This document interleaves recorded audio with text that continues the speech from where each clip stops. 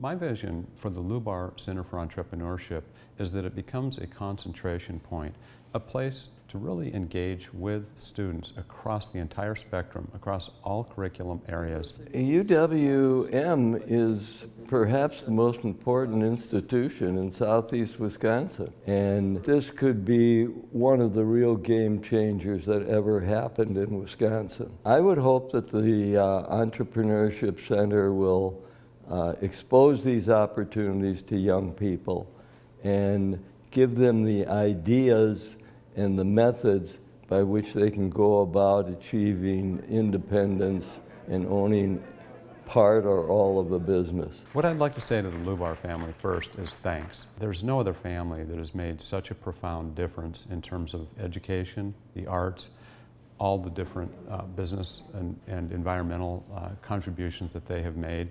And this really is a, a difference maker for the campus and all that are affected by the campus. There are very few really important life-changing things that happen in one's life, and I think this is one of them.